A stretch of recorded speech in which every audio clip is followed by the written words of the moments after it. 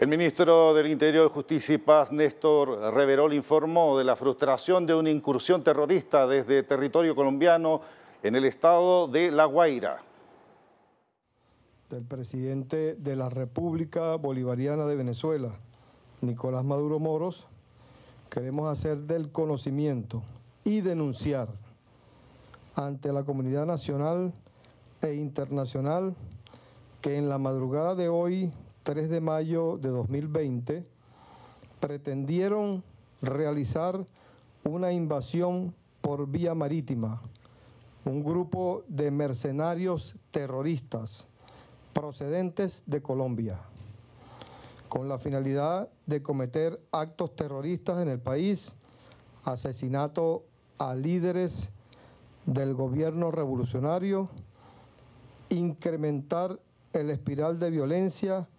generar caos y confusión en la población y con ello derivar de un nuevo intento de golpe de Estado. Estos terroristas intentaron ingresar en lanchas rápidas por las costas del estado de La Guaira, pero gracias a la acción oportuna, efectiva, de nuestra Fuerza Armada Nacional Bolivariana y de las Fuerzas de Acción Especiales Policiales de la Policía Nacional Bolivariana fueron abatidos unos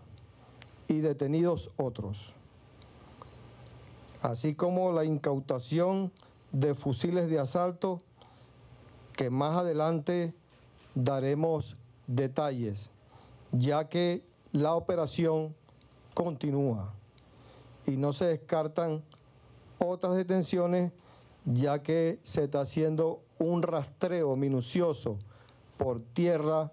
mar y aire. Pareciera que los ensayos frustrados imperiales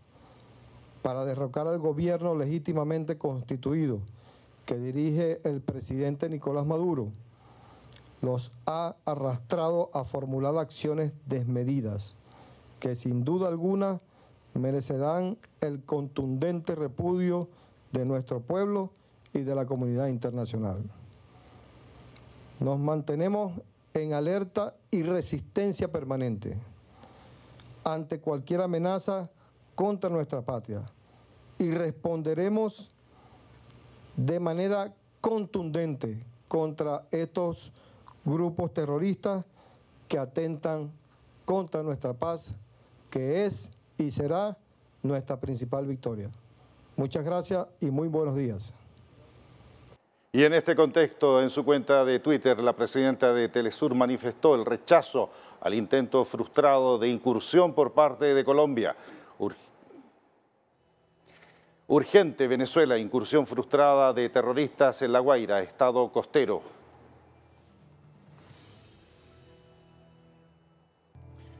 Esta información en desarrollo y usted estaremos informando en próximas rondas de Telesur Noticias. Manténgase en nuestra sintonía.